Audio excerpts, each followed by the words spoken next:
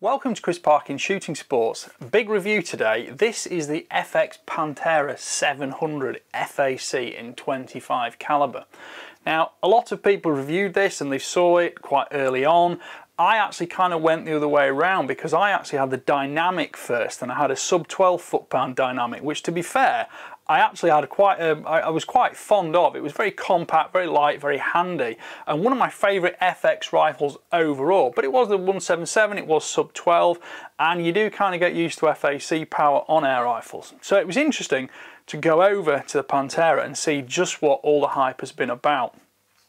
There are lots of details to cover about this. You can see all those in the link down below on the FX website, but I'm going to tell you a lot more about my personal experiences with it. With it. It's got a 700mm barrel, you can have it in 500 or 600mm versions and it's got a full shroud over the top of it. This actually contains 156cc um, plenum as well. It's screw cut at the front half inch so you can put a moderator on it and you'll see in the video, you can see with the moderator on off it has a significant effect on the actual volume this thing produces because it is quite loud and at full power without the moderator I was actually using ear defenders with it. Now, FX state that this rifle will produce in 2.5 caliber, I'm going to have to read off my notes here, 107 foot-pounds of the 56 grain slug. Now I use Zanslug's maximum uh, 37 grain slugs and I was getting 999 feet per second on my best tune with that which is 82 foot-pounds. I was very happy with that and it's certainly got enough power for anything I need to shoot with a 25 caliber air rifle. Now that power level, which was basically everything maxed out, uh, with a 700 millimeter barrel to give me them, you know, it gives you the most sort of efficiency from the gun.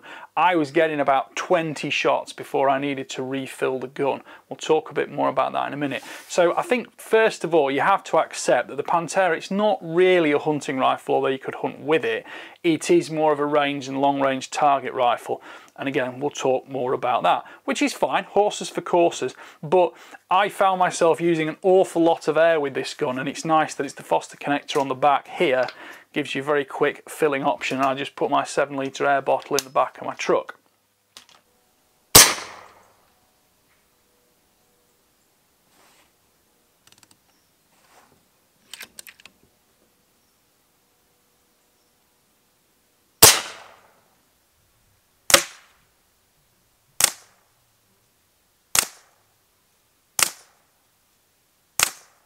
We'll start front to back. We've got an Arca rail under here and you've seen me shoot it with this Arca bipod. You can also shoot it off an Arca tripod, that's fine. There's a barricade stop at the front there. On the left hand side we've got the two, um, the two pressure gauges which give us the regulator pressure and the max fill pressure. The max fill pressure is 250 bar and it's a 300cc carbon fibre bottle. As I said before, the plenum is another 156cc on top but that is kind of the intermediate stage after regulation. There's a Picatinny rail on top, it's inclined 20 MOA so it makes scope mounting super simple and because the magazine isn't kind of sticking up from the Picatinny rail you've got no problems with scope mounting or eye relief, anything like that. The side lever cocks the rifle. I won't cock it now because I'd have to fire it off to do things with it, but well, I will do it anyway. This is safe dry fire. This is wound right down actually, so it's a bit quieter for in the uh, in the armory. But that is still quite noisy without the moderator on. The side lever can be swapped to the other side if you want to, but the rifle is overall quite ambidextrous because you've got an adjustable cheek piece. It's an AR-15 style grip, which is ambidextrous and it palms well, and the recoil pad is adjustable for length of pull and vertical position. The two little thumb screws on the side here to adjust the cheek piece up and down. I'll just uh, nip those off a little bit more. Which ones I do there? There we go. That moves that up and down. So you can set that as you want it. Pop that in position. And if you want to move the recoil pad at the back, you need an Allen key which will allow it to move vertically. Thus, length of pull is on these two slider bars here and you can also adjust the angle slightly because it will pivot like that too so you know shortest to longest and you can dip it up and down exactly as you prefer because it is after all more of a target rifle On the underside, you can fit additional accessories here like a monopod or a bag rider if that suits you. And I think if you're going to be taking the target route with this rifle, that's probably going to be something you want. The stock is all hard anodized aluminium. It's black, looks very, very nice, and it's very beautifully machined. There are no machining marks or anything anywhere. The trigger is two-stage adjustable. Uh, it came to me delivered at 900 grams which is 32 ounces and it's incredibly crisp and easy to use. I'm quite happy with that. And you can see in the front of the trigger guard you've got the regulator adjusters here and all the trigger adjusters. I would recommend reading FX's instructions about doing that if you are going to do it. Certain things are very allowable other things do take away from your warranty so just be wary of that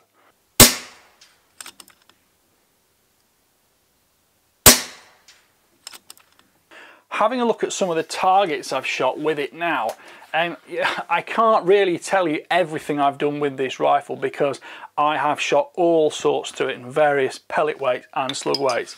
FX do provide this rifle, it's the AMP2 regulator and it's got a new block on it and the new block actually is allowable so you can have a longer magazine or a thicker magazine which allows a longer projectile up to 13 millimeters.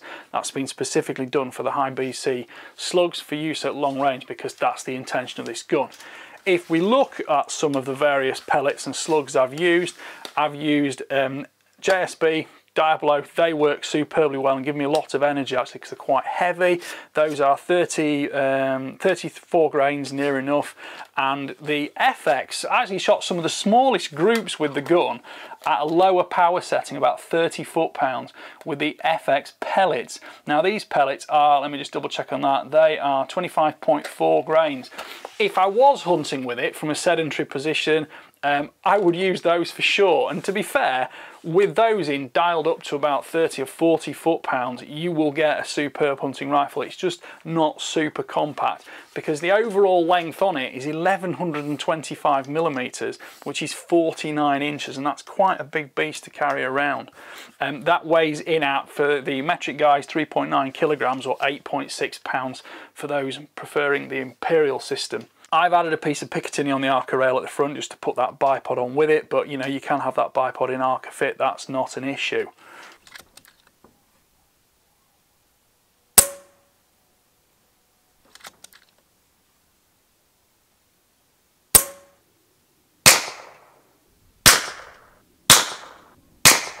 Now looking at some of the slugs I shot through it, I shot some of the FX hybrid slugs which did actually work superbly well.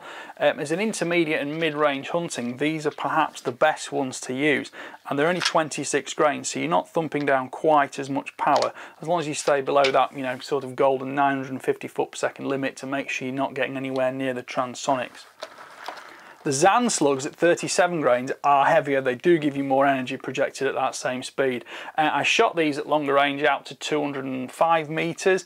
I did get a little bit of elevation variation um, just off the bottom of the plate, but that's going to be for another day, I think, because although I like shooting air guns at long distances, it's kind of fun. It's not a project in itself for me, and that's something you would specifically want to tune to and adapt for um, I tested the rifle just through a variety of scenarios and conditions.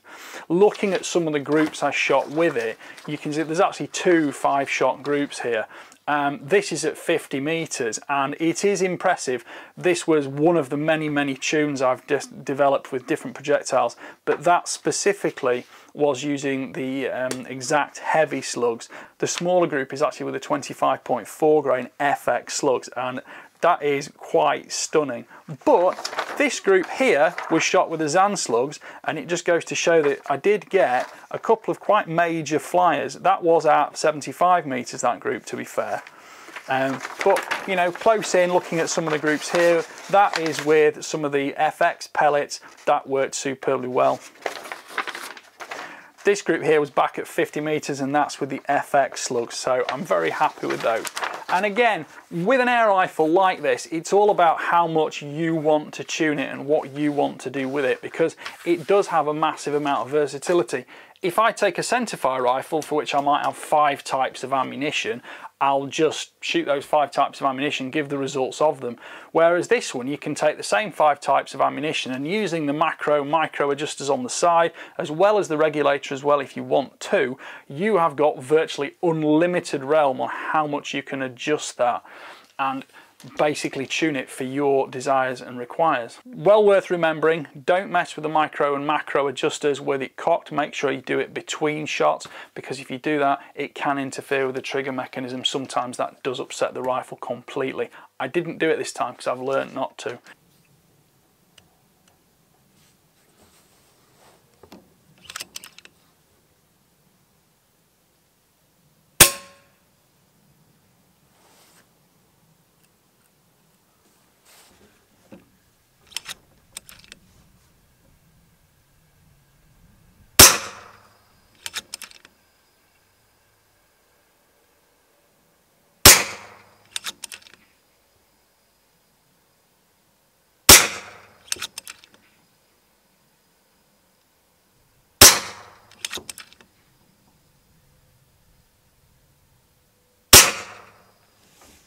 I do like having the dials on the side for pressure because it does allow you to see easily when that regulator pressure is going down towards the overall fill pressure. Now, if you've got a setup and a tune that you know, you know how many shots, how many magazines worth you're going to get through the rifle. But when you're swapping backwards and forwards all the time, tuning this, tuning that, changing this, changing that, you can very quickly run out of estimation of how much air you've used. And of course, although I was only getting 20, 25 shots at absolute maximum power, when I drop down the power scale to 20, 30, 40 foot-pounds, I was getting a significantly greater number of shots, well towards the 75, 80 shots number. But again, depends exactly on which projectile and which uh, power setting you are using, so bear that in mind.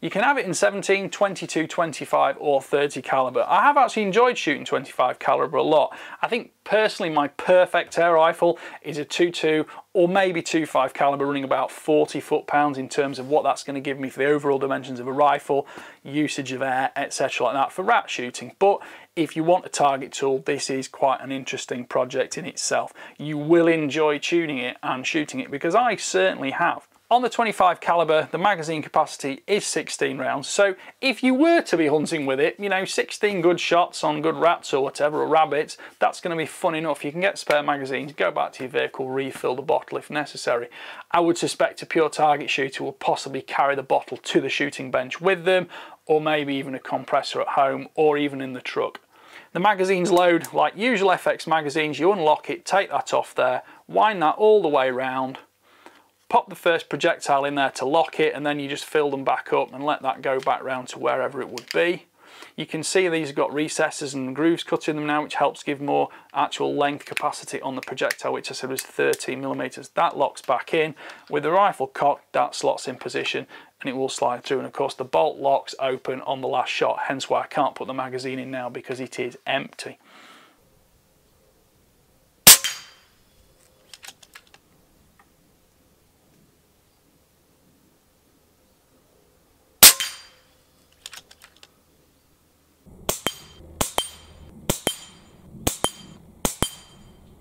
This is called the Magnum XL plenum on this 700 rifle and it does have a slight downside in the fact that if you take it off you'll see the barrel within is actually quite a complex assembly and it's got air seals on it. If you do want to change calibers on this rifle you do have to send it back to the dealer to have that done because it's got to be done professionally. It's not as simple as the Crown for example where you just undo a couple of screws, slot it out, slot a new one back in, turn it over for whether you're swapping slugs or pellets etc. Again, horses for courses, it's a different rifle. The Superior Heavy STX liner is specific to this gun and it is designed for those slugs and in 25 caliber will stabilise up to a 56 grain slug which is what's going to give you that maximum power level at just below a thousand feet per second.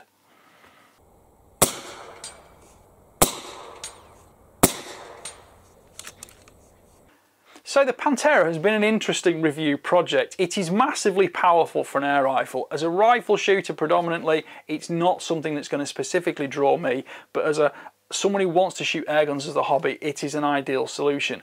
I like some of the mechanical features which it shares with the dynamic. I like the fore end which is slim, it's very stiff, and I like the fact that the handguard on top shrouds the barrel and you're not likely to get thumbs or fingers near it and actually be moving the barrel shroud to one side or another. That's an excellent factor with it. I like the dowels on the side, but I wouldn't specifically need those on a hunting rifle, but it's great for this. The AMP2 regulator is actually very consistent, and I was able to actually prove some of FX's data correct. On a 10 round string through this gun, I did manage a 4 foot per second extreme spread with a 1.3 standard deviation. Now, okay, they claim a 1.0 standard deviation for that, but I'm going to let that one slide because to be fair, it is stunning. At 30, 50 and 75 meters, it was stunningly good. At 100 meters, I was shockingly impressed. I was definitely impressed when I basically fed in the velocity and the projectile BC directly from an FX chronograph, put that into my Kestrel, and you can see on camera, my first round strike center of the plate. I was very pleased with that, and that was using the Zan slugs.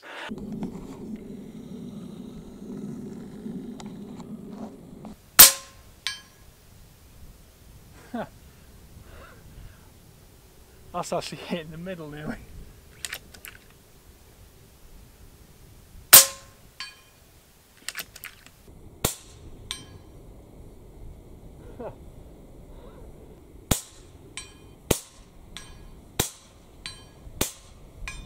Um, I moved out beyond that. That was actually 109 meters. I then moved out beyond to 205, I think it was.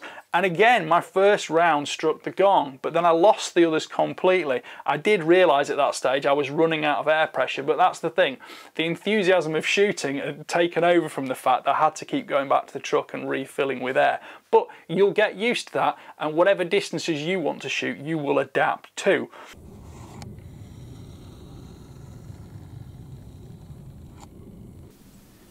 So we zeroed at 31 metres, we've just shot at 109 metres. We're now going to go up to 205 metres. Results at 209 were pretty good and this is really pretty much straight out. Uh, 10.9 mils. 6, 7, 8, 9, 10.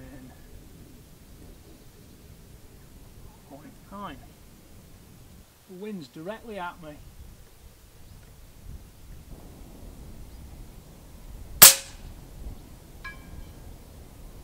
Awesome, we got a first round hit. Um, the fact I'm smiling is quite a good recommendation for the rifle because a project has to really drive me and interest me to make me want to really experiment with it. I know as far as FX rifles go, I often hardly scratch the surface in terms of what tuning capability you can do with them. I did a lot more with the, uh, the M3, which is a smaller, more compact gun. I did have a lot more use for in, uh, crossover in hunting as well as longer range targets, and I did have the four barrel options for that as well, which gave me a huge excuse to experiment with it. But I quite like the Panthera. It's, it's quirky. It is very big, it's very long. I've got to take the moderator off to actually fit it in my rifle cabinet, but I think if you buy one, you will certainly enjoy the challenges it brings to shooting. Well, I'd love to read all your comments on FX air rifles because I know some of you are massive FX fans and you will have done far more experimentation than I ever will. But I hope you've enjoyed my sort of freshman's look at it because I don't do huge amounts with FX, I'm more of a rifle guy. So I give you a bit of a, a, a different perspective on it from someone not totally ingrained within the sport already. Please like, subscribe, comment and click the notification bell so you can keep track of my regular uploads. Thank you for watching, bye for now. Thank you.